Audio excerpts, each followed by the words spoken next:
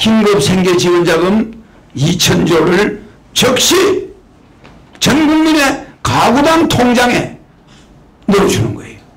바로 151명이 되면은 며칠 안에 여러분의 통장에 그 돈이 들어간다는 거예요. 1억씩이. 싫습니까?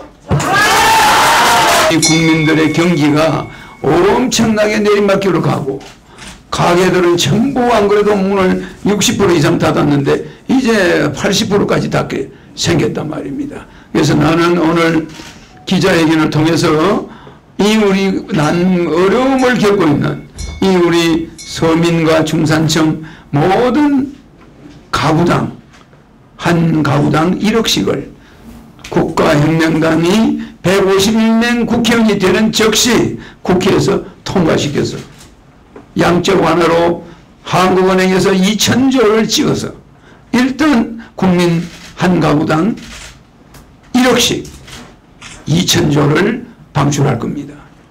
그래서 우리 국민들이 지금 1년 동안 장사 못할 거 뻔하고 그 집세 나가야 되고 가족들 먹여 살려야 되고 이런 어려움이 있기 때문에 예, 그들에게 1억이라는 돈이 꼭 나는 필요하다고 보고 모든 성인 남성들에게는 1억씩이 주어질 겁니다. 가구당이기 때문에 1인 가구도 1억을 주게 됩니다. 노인이든 20대든 20살이든 혼자 사는 사람도 1가구이기 때문에 세대당 우리나라 전체 세대는 500만 세대지만 가구 수는 2천만 가구입니다.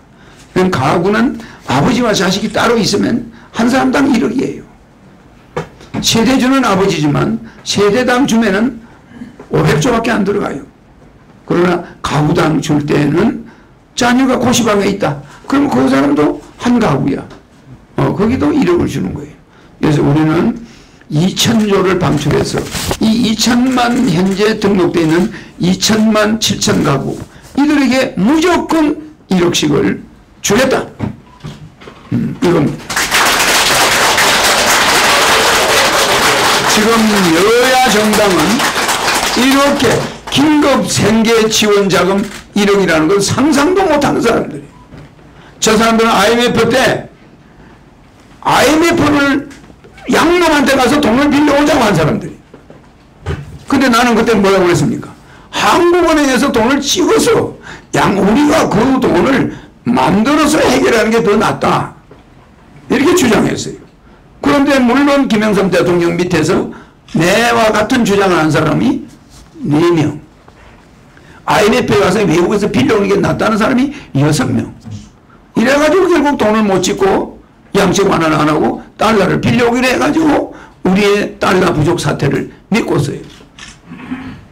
그리고 이게 얼마나 우리가 그때 IMF 은행에 돈을 가지고 오지 말고 그냥 우리가 돈을 찍었더라면 아무 문제가 없어요. 인플레가 생긴다고 걱정하는 놈들이 있었는데 그런 경제 정책 하는 사람들은 그 용서 못하는 사람들이 절대 우리나라는 인플레 안 생깁니다. 디플레이션이 더 무서운 거예요. 인플레이션은 약간의 혈압이 약간 있는 건 괜찮지만 저혈압이 더 무서워요. 이 디플레이션을 지금 일본 경제가 1992년에 저렇게 내리막길로 저렇게 2002년에 내리막길로 갔다가 저 양적 완화를 하느냐? 양적 완화를 하느냐?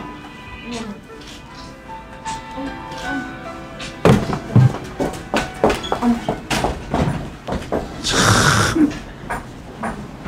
양적 완화를 하느냐?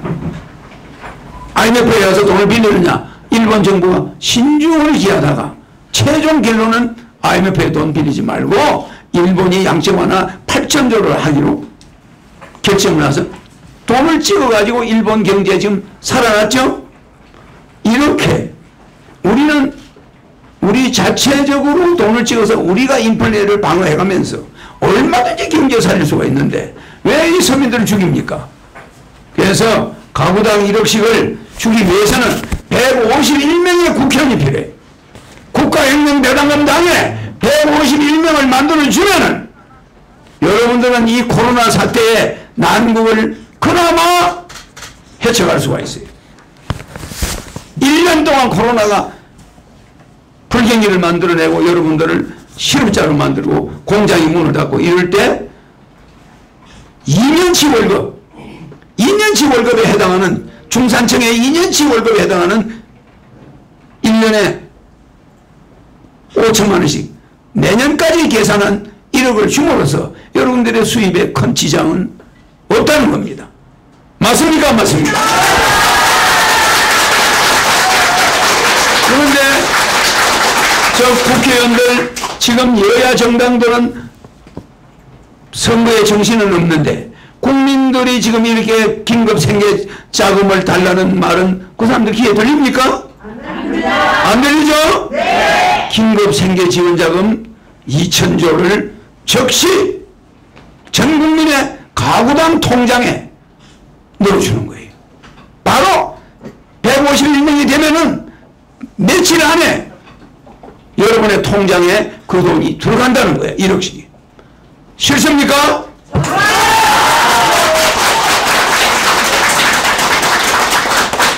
그 2천조가 여러분 통장에서 금방 빠져나가진 않아요. 사용을 해야 되니까 여러분들이 그 돈을 조금씩 조금씩 쓰겠죠. 국가는 그 돈을 한국은행에서 충분히 방어해 갈 수가 있다. 국가 예산도 전략해 가면서. 무슨 지 알겠죠? 네. 그러면 내가 대통령 되기 전까지 2년 동안 여러분들은 생계가 걱정은 없다 이 말이에요. 맞습니까? 안 맞습니까? 일본 경제가 100억짜리 빌딩이 15억으로 내려가고 물가가 10배가 떨어져가지고 디플레이션이 일어나가지고 일본이 위기에 처한 거 여러분 아시죠? 네. 그거를 인플레로 올린 겁니다. 8천조라는 엔화를 찍어가지고 그것을 오히려 디플레이션을 인플레이가 발생할 수 있도록 디자인해가지고 지금 일본 경제가 잘 나가고 있습니다. 맞죠? 네. 그러니까 우리는 IMF에서 왜 돈을 빌려오냐 이 말이에요. 돈을 우리가 양적 완화 했더라면 얼마 안 찍어도 해결될 일을 그 미국은 지금 어떻게 합니까? 달러를 마냥 찍어서 빚을 갚아가요. 미국은. 그러면 달러 지금은 달러가가 인플레가 생기냐? 안 생겨. 달러가 해외로 다 나가버려요. 전부 집에다 숨겨놔. 비상시를 대비해서. 그러니까 미국은 암만 돈을 찍어서 빚을 갚아도 아무도 그 시비 거는 사람 있어 없어요? 옛날에는 돈을 찍으려면 금을 맡겨야 됐었어요. 지금은 그 제도가 국제적으로 없어져 버렸어. 전부 자유, 자기 각 나라가 지잘 마음대로 하게 돼 있어. 왜? 인플레를 자기들이 감당만 한다면 알아서 하라 이거예요. 그 우리나라도 앞으로 2천조를 양적 완화해서 151명이 붙기만 하면은 바로 국회에서 땅땅땅 해서 여러분 가구당 가구는 세대와 다릅니다. 세대는 우리나라 세대가 전부 512만 세대고 가구는 2천만 7천 가구. 이 2천만 7천 가구당 1억씩. 이렇게 해서. 자 하나 둘셋. 허경영! 상대시원. 둘셋. 생계시원자료 자, 허경영 눈에서 우주 에너지 받으세요. now. 공자, 맹자, 알라, 알리. 어느 누구도 해내지 못한 거 우리 힘으로 한번 해보는 거야. 어려운 얘기가 아니야. 좋은 세상 한번 만들어 보겠다. 내 말이 맞죠?